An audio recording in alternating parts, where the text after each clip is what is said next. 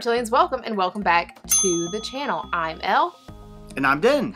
And this is Elle's Reptiles. So I asked you guys here on the community tab on YouTube and on Instagram what you wanted to see in the upcoming videos, and quite a few of you guys said you wanted to see us react to reptile TikToks. I spend an unnecessary amount of time on TikTok, so I was pretty excited about this. and, yes, she does.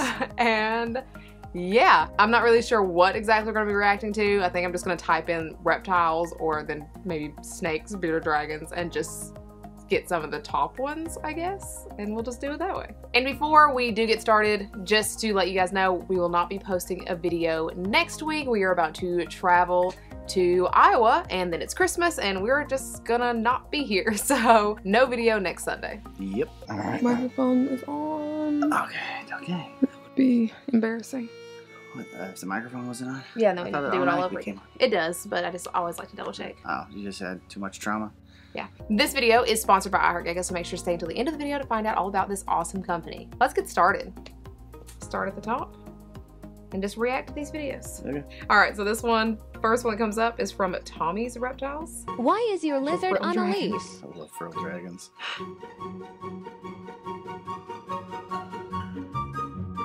So it doesn't eat your dog. Boo. They gave him wings too. like I always wonder, like, will they actually bite you when they do that?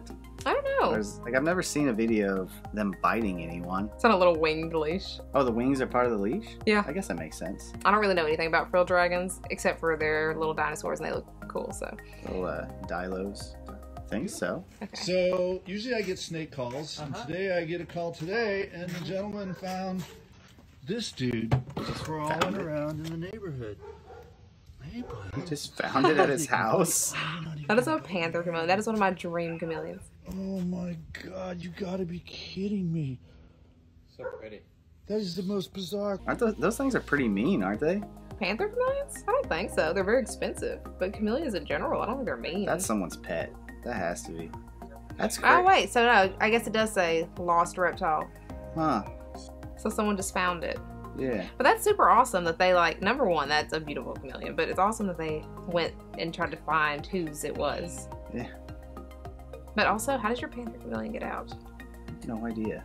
We've built him an amazing home. He seems to be happy thanks to all who have helped. Aww.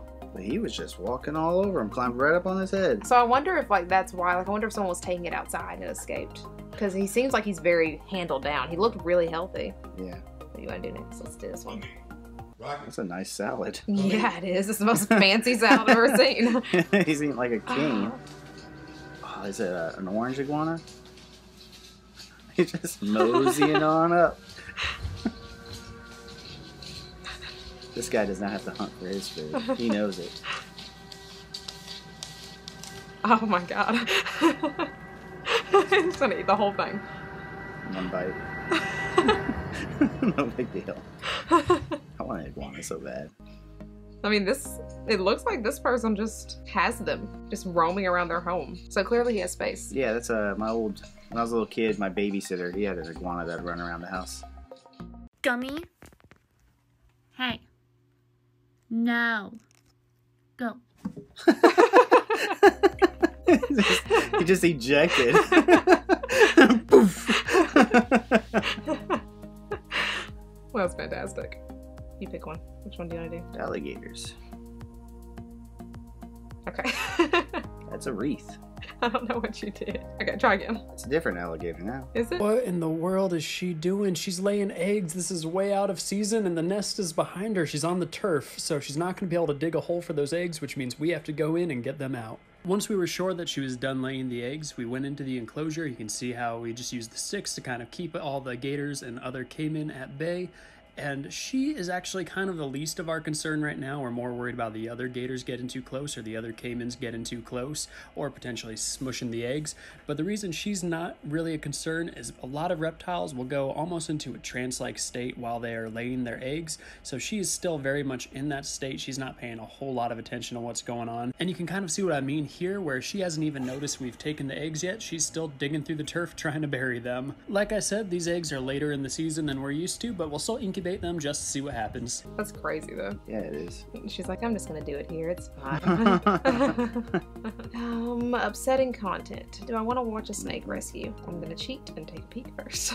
I mean, it looks like it's fine. Let's just try. This week, we were called about a situation in which an owner had lost access to their snakes. We went today to identify You the species, access to your snakes. but decided to take them with us immediately when we discovered they had been without food, water, or heat for a month. Please do not say anything negative about the owners in the comments. This situation was out of their control. All of the animals were in sizable cages, and we could tell thought had been put into their care. I think the biggest thing would be the heat and the water, though. yeah. Maybe it was like a situation where, like, maybe it was like a breakup or something, and they couldn't get into their house to take Oh, care of their animal. That or maybe they got evicted. a reticulated Hmm. python. He also appears to be active, alert, and in decent condition. This is a juvenile boa constrictor, and he is absolutely covered in mites. We've seen a lot of mite cases, but we've never seen this many mites before. You can literally see them crawling all over him. Once we got home, we worked on soaking all three snakes in some water with a little bit of Dawn dish soap. That's what I was gonna say. I'm I'm surprised the other ones weren't covered too, because it looked like all the tanks were just stacked. Hmm. That's crazy. Yeah. That poor snake. How's Pongo doing? Well, I mean, we're gonna watch that too. Thankfully, Pongo did make it through the night. Oh, And as you can see, the Prevent-A-Mite worked. There were hundreds of dead mites all over his paper towels this morning. We kept him in a small hospital tank for his first treatment and will be throwing it away tomorrow and upgrading him to a larger enclosure. that's like my worst nightmare though. The mite infestation? Yes, because then we'd have to break everything apart, and we'd have to treat. I mean, we would just treat all of them. We would just treat all of them. That'd be terrifying. At that point, we just might as well move the reptile room. Yeah. Just slowly quarantine them all. Well, it takes him about five seconds to realize there are a ton of dubia roaches and he wants them. So, uh, you know, we're gonna quickly throw in some calcium here. Your dragons get aggressive with their feeding. Yeah, they do. Zaz will leap out of her tank. His beard is black. like, give them now. I rarely give these to him because uh, I don't have a good enough breeding colony to keep him, you know, up to this. And now he's trying to climb up my leg to get him. Okay, okay, wait, give me a second. Okay, just because this is cute, I'm gonna feed him one with my hands. Oh, da, da, da, da. All right, well now you gotta go run and catch him this time. Oh, well that was a little too quick. All right, well let's get out a few more. All right, well he can't eat these fast enough. Uh oh, uh oh, uh oh, uh oh. One's running away. All right. Oh no, no, no, no, no. Here, there you go. All right, you got, you got the other one. Get, no, get this one. Right there, right there. He says no. Now it's underneath you. I'm assuming he didn't eat it. he got what he wanted. he said I only wanted five today, not six. Oh, hognose.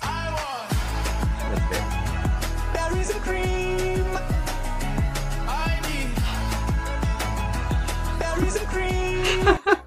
I was not excited. I was not. I thought it was gonna just eat.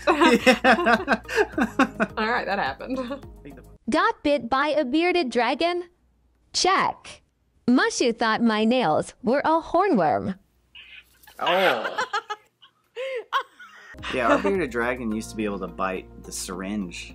In half. Yeah. Yeah. When we had to force feed her after Yeah. her surgery. Yeah. She would just bite the tips off, and we'd have to make sure she didn't swallow pieces of plastic. Mm, yeah, don't do that. Yeah. Please don't do that. When it's breeding season, attack basking light. Look for female. Attack light again. Try to escape. Do some zoomies. Climb things I'm not supposed to. Look for a female again. Fall off things. By gravity. Just going crazy. That's a really nice tank. Yeah, it is. I like the rock separation. What is that?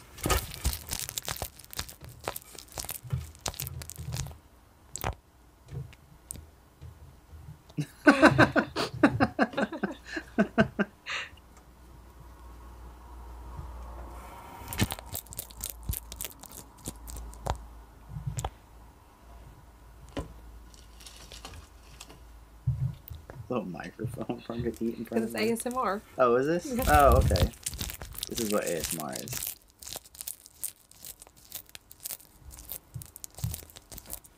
Hmm. Okay. You can ASMR anything. Oh, hello. it's me on a different day. So as you're watching this video, for me, I am now about a week later. So I was just editing along in this video and this happened.